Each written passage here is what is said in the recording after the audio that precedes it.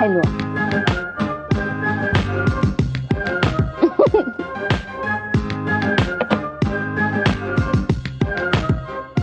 إحنا دلوقتي طبعا آه، ابتسام آه، آه، هنعمل لها PRP ال PRP دي آه، دي عبارة عن تقنية جديدة اسمها البلازما.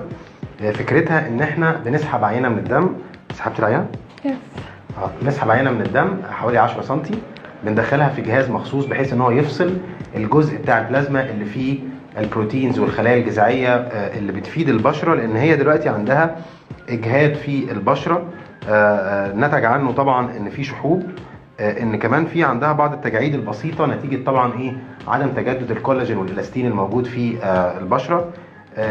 لما بنفصل ال- ال- الجزء اللي هو فيه الصفائح الدموية والبروتينز والخلايا الجذعية ده ده تقريبا بياخد له حوالي 10 دقائق وبعد كده بنفصله في آه، حقن رفيعة جدا بسيطة جدا آه، وبنحط لها طبعا آه، بنحطها من خلال نحقنها من خلال سن رفيع قوي تقريبا لا يذكر شايف السن؟ إيه.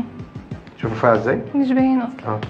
فده بيسهل طبعا حقنها وفي نفس الوقت آه، آه، بيبقى مفيش تقريبا ألم. إحنا دلوقتي طبعا هنعمل زي إيه مسح خفيف كده للجلد بحيث إن إحنا بنجهز ال- ال- الفيس. هنبدأ دلوقتي طبعا نحقن. زي ما قلنا إحنا بنحقن بسن رفيع قوي بحيث إن إحنا إيه تلاقيش خالص مفيش أي حاجة. كلها شكات رفيعة بسيطة. حسب حاجة.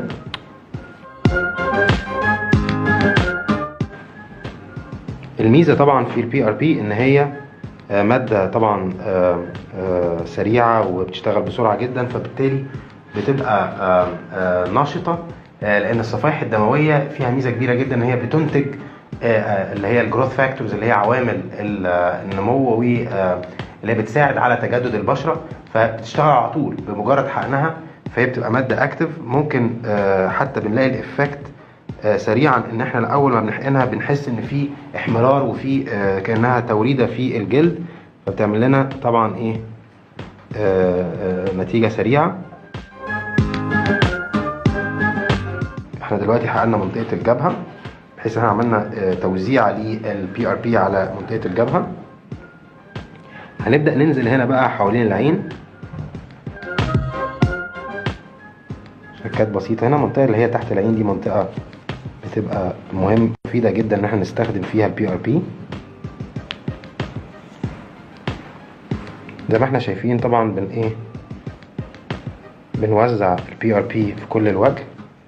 منطقة طبعا ال cheeks والخدود دي طبعا منطقة آه، آه، بتستفيد جدا من حقن البلازما.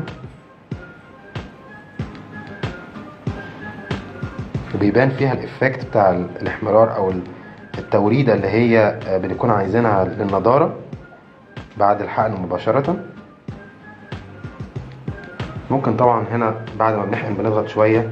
لو في أي آه، نقطة دم بسيطة خرجت دي حاجة آه، سهلة يعني بتروح على طول بتقف. إحنا دلوقتي خلصنا حقن البلازما ال PRP زي ما إحنا شايفين بعد الحقن طبعا ال face بدأ يبقى فيه احمرار نتيجة إن الصفائح الدموية آه، آه، بدأت تشتغل ودي بينتج عنها طبعا آه، آه، زيادة في ال flow وبيبقى في ال- ال flow بتاع الدم وطبعا ال- الأوعية الدموية بتبدأ بقى آه، يحصل فيها circulation كويس وال effect بتاعت المواد اللي هي ال growth factors بتبدأ تشتغل. آه، طبعا النضارة دي طبعا هتستمر معانا لفترة. آه، الجلسة ممكن يبقى في بعض الشكات البسيطة اللي ممكن تتدارى بال make up آه، في خلال يومين ثلاثة هتكون اتلغت تماما. والجلسه بسيطة وسهلة وال effect بتاعها لو كررناها أكتر من مرة آه، يفضل إن هي كل أسبوعين أو كل شهر لو ما قدرناش. آه، لو استمرينا عليها آه، بشكل منتظم لمدة ست شهور طبعا هناخد نتيجة مختلفة تماما. الحمد لله على السلامة. ميرسي يا دكتور.